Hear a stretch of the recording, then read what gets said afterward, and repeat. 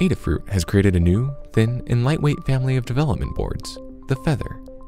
The Feather family is aimed at small, portable, battery-powered projects, coming standard with JST connectors and battery charging circuitry, though they can also be run directly from a micro USB connector.